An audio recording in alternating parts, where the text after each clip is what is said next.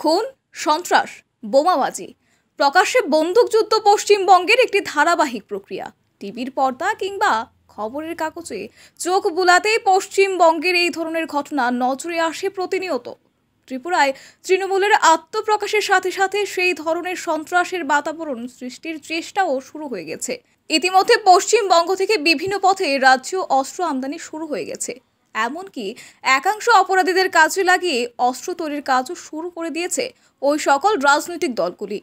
তাদের লক্ষ্য একটাই দু হাজার তেইশে রাজ্য বিধানসভা নির্বাচনের পূর্বে রাজ্য জুড়ে সন্ত্রাসের পরিবেশ সৃষ্টি করে ঘোলা জলে মাছ শিকার করা।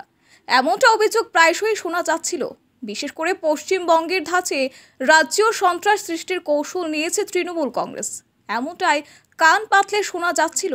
যদিও রাজ্য পুলিশ ওই সকল অপরাধীদের গতিবিধির উপর নজর রেখে আসছিল।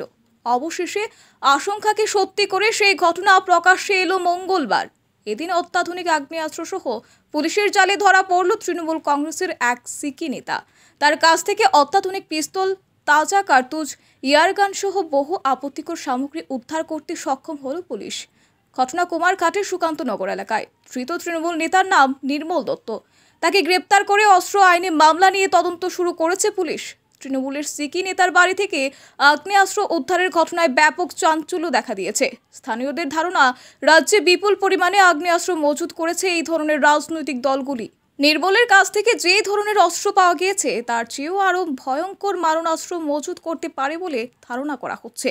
তাকে সঠিকভাবে জিজ্ঞাসাবাদ করা হলে তার অস্ত্রের উৎস কার কার কাছে অস্ত্র রয়েছে সেই বিষয়ে আরও অনেক তথ্য বেরিয়ে আসবে বলেও স্থানীয়দের ধারণা।